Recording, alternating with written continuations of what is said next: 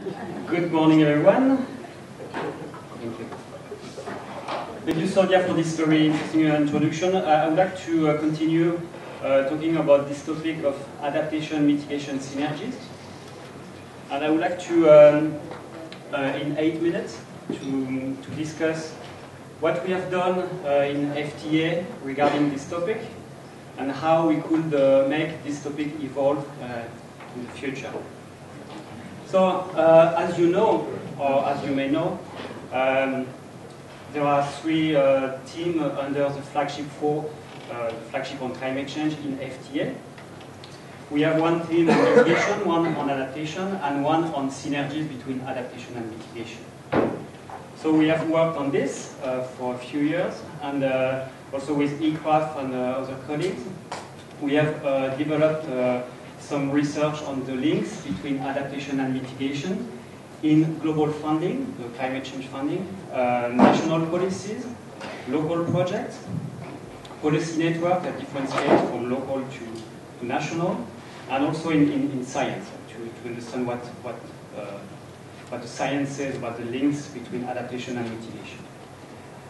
So I would like to uh, use some narratives that we found in the, in the literature or when talking to stakeholders at the national or international or even local scale about why and how to link adaptation and mitigation.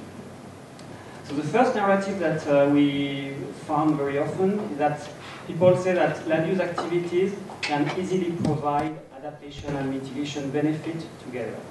So it's, it's a very common uh, narrative uh, among donors and project developers.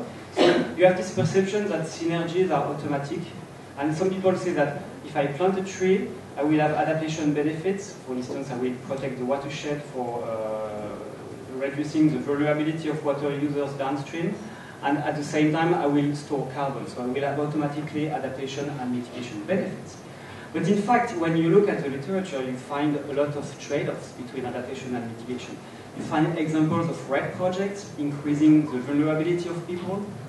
You find uh, examples of adaptation projects increasing emissions. So it's a lot about trade-offs. So we have to move away from this narrative of automatic synergies. We have to highlight trade-offs, especially because it's part of our theory of change. We want to uh, we want decision makers to recognize and uh, manage these trade-offs. Then another very common narrative is that REDD Plus needs adaptation, and we, we had some donors saying that uh, mitigation or REDD uh, won't work without adaptation. They say this because they believe that um, we need to take into account adaptation to climate change to increase the resilience of REDD, REDD project to, to changes in the climate and also to increase the legitimacy of, uh, of carbon projects, because mitigation is driven by global interest, while adaptation is driven by local interest. So uh, it's a good point, but at the same time, um, many project developers um, have a different view. They say that adaptation to climate change is not so important because you have so many uh, um, current stressors that are more important to deal with, uh, like economic changes or um, uh, social changes that are more important in the, in the current situation than climate change. And also some, some people say that we need to look at the broader picture and not only uh, uh, adaptation and mitigation. And for instance, um, uh, rather than talking about adaptation and including adaptation into REDD, we should uh, broaden the discourse to uh, the human pressures on forest, poverty issues, uh, REDD safeguards, and, uh, and not, so not only adaptation to climate change.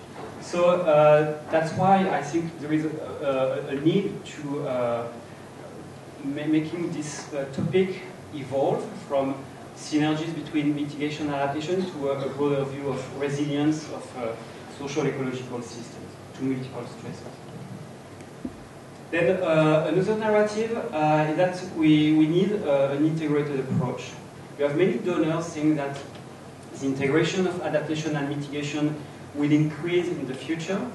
And uh, so these, donors perceive the benefits of uh, an integrated approach. Uh, they also perceive the barriers that prevent them to do it now.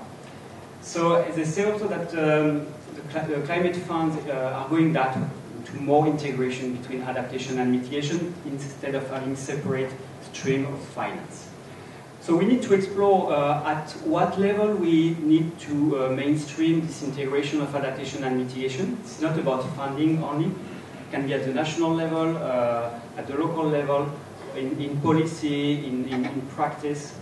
And we also need to uh, explore the different processes that we, uh, we could promote to um, facilitate this integration without forcing a marriage between adaptation and mitigation. So this is also part of the theory of change. We need to identify where to, to act on this, uh, on this integration. And I also think that uh, we are now in a, in a, situation where we are changing discourses in terms of adaptation versus mitigation.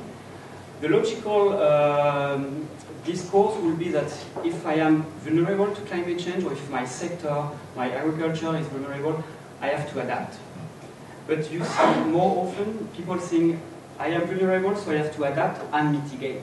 So I think there is a change in, in the way people engage in a voluntary um, commitment to reduce their emissions. Okay, two minutes. So then from the narrative, I want to discuss very quickly, so in, in two minutes, uh, I think that's. Um, the, I, I may have maybe one more minute because she said 8 to 9, and in the program it's 10, so um, yeah, negotiating. So, uh, in the framing that we have used so far uh, in FTA, we uh, use this dichotomy, dichotomy between adaptation and mitigation, which is logical because it's uh, the way uh, it has been framed in negotiations in the IPCC with the two different reports or working group on adaptation and mitigation. And of course, uh, it's logical because uh, adaptation and mitigation have different rationales, different temporal and spatial scales, and they share the same ultimate objective to respond to climate change. So we think that it's important that all stakeholders understand this dichotomy, but in fact they don't. And it's even after uh, so many years uh, uh, working with this uh, dichotomy, you realize that uh, many stakeholders still uh, get confused with the difference between adaptation and mitigation. So the communication on this can become very academic, abstract, and also when you talk to people in disaster risk uh, reduction community, for them uh, the word they use for, uh, I mean, when they use the word mitigation, it means adaptation for us. So it's a lot of confusion in the field. So um, this framing is kind of uh, um, uh, restrictive, and uh, it also contributes to this separation between adaptation and mitigation that we criticize. So, for instance, we, we could use a more um, continuous view, especially when we talk about ecosystem services. Uh, very quickly here we have the services that are related to, to adaptation and mitigation with at the top carbon being purely mitigation, and then other services more at the local level being more uh, adaptation, clearly. But in between, you have some like the regional climate regulation that's not really adaptation, neither mitigation. So maybe it's better to see it as a continuum of services that a landscape can provide for, uh, for climate change. Finally, the last framing I want to discuss is about win-win situations.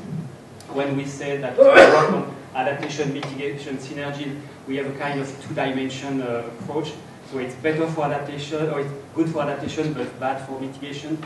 So win-win or win-lose. Um, so it's very simplistic because we have so many dimensions in, uh, in adaptation and mitigation that we need to go beyond this, uh, this, this, two dimension. And so uh, to go uh, beyond the, the, the main uh, problems that I have uh, identified, I think we could start working more on the landscape scale and trying to see how to manage landscape for the three objectives of, of, of, climate smart landscapes. So first, having landscapes uh, providing services that are uh, useful for reducing the vulnerability of society to multiple stressors, so it's adaptation services. Then also uh, managing landscape to provide mitigation services. And finally, uh, to manage landscape for improving ecological resilience. Okay, thank you.